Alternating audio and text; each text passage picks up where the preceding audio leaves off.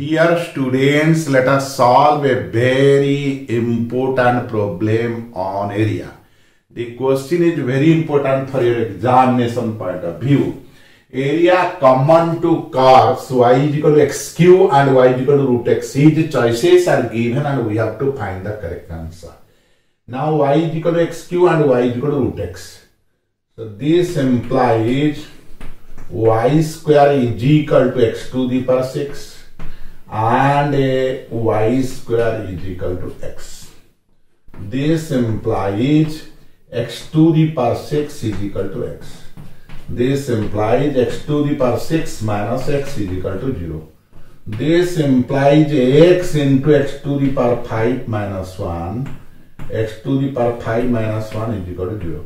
This implies x is equal to 0, x is equal to 1 taking only real values of x.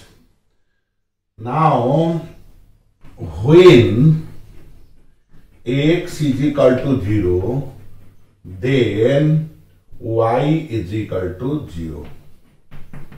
So the point is 0, 0.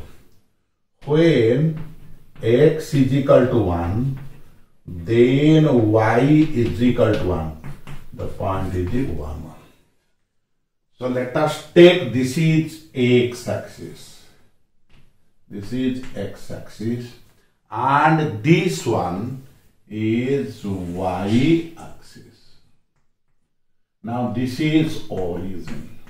Now y is equal to x cube will be a curve like this. This is y is equal to x cube.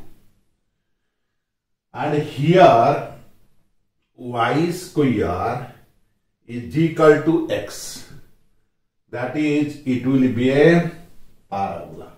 This is the upper part of the parabola. This is y square is equal to x. And this is the region. And we have to find the area for this region. Then the required area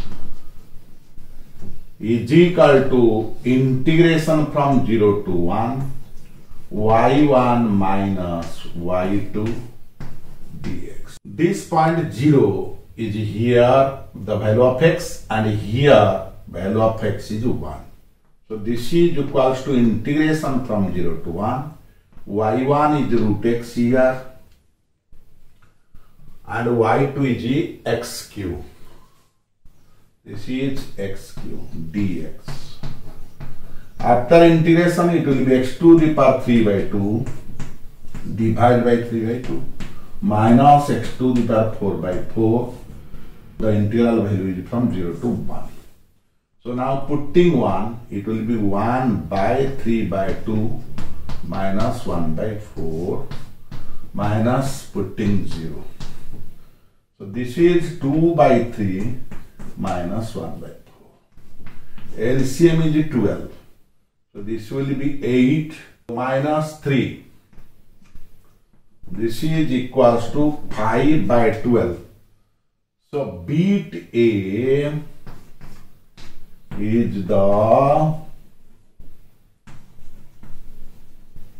correct answer. With this, the topic for this class is completed. I shall meet you soon with a new topic. Till then, goodbye.